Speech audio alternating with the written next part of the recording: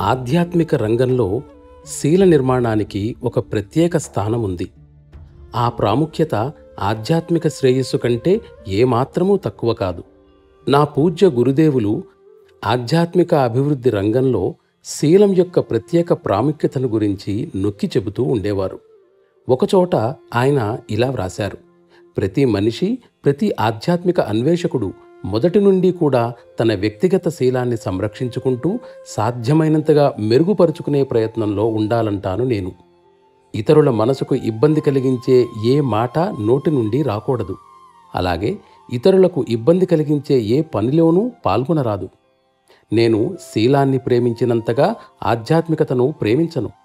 సాధకుడు ధృవాధిపతి స్థాయి సాధించినా అతనికి శీలం విషయంలో బలహీనత ఉంటే నాకు తెలిసినంత వరకు అతనికి ఇంకా నిజమైన తత్వం బోధపడలేదనే నా అభిప్రాయం. నేను కూడా అభ్యాసీల శీలంలో బలహీనత ఉండకూడదని కోరుకుంటున్నాను. కానీ నేను కోరినంత మాత్రాన ఏమిటి ప్రయోజనం? అందరూ ఒకటే అన్న భావానికి జనం ఇంకా చాలా దూరంలో ఉన్నారు. వాళ్ళు తమంత తాముగా ఏమీ చేయడానికి ఇష్టపడరు. నా ఆంతరంగిక శక్తులన్నీ ఉపయోగించటం ద్వారా వాళ్ళను నేనే ఉద్ధరించాలనుకుంటారు. వారిలో ఏమాత్రం దోషం ఎత్తి చూపినా లేక ఆధ్యాత్మిక ప్రగతిలో కొంచెం తేడా కనిపించినా దానికి మాత్రం నన్నే బాధ్యుడను చేస్తారు నన్నే నిందిస్తారు.